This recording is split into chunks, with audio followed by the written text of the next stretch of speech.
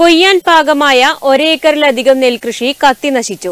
വെള്ളിയാഴ്ച ഉച്ചയോടെ കണ്ടോന്താർ ചെങ്ങളം വയലിലാണ് നെൽകൃഷി കത്തിനശിച്ചത്. നാട്ടുകാരുടെ സംയോജിതമായ ഇടപെടലിലൂടെയാണ് തീയണക്കാൻ സാധിച്ചത്. കടന്നപ്പള്ളി പാണപ്പുഴ പഞ്ചായത്തിലെ കണ്ടോന്താർ ചെങ്ങളം വയലിലാണ് തീപിടുത്തമുണ്ടായത്. വെള്ളിയാഴ്ച ഉച്ചയ്ക്ക് ഒന്നരയോടെയാണ് സംഭവം. ഒരേക്കറിലധികം വരുന്ന കൊയ്യാൻ പാകത്തിലായ നെൽകൃഷിയാണ് കത്തി നശിച്ചത്.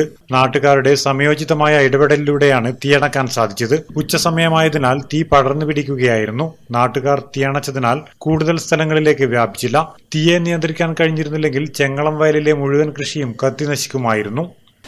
അഞ്ച് പേര്. അഞ്ച് പേരടങ്ങിയ കൃഷി ഗ്രൂപ്പാണ് നെൽകൃഷി ചെയ്തിട്ടുണ്ടായിരുന്നത്. നാളത്തേക്ക് കൊയ്യാൻ വേണ്ടി മെഷീനെ ഏൽപ്പിച്ചതുമാണ്.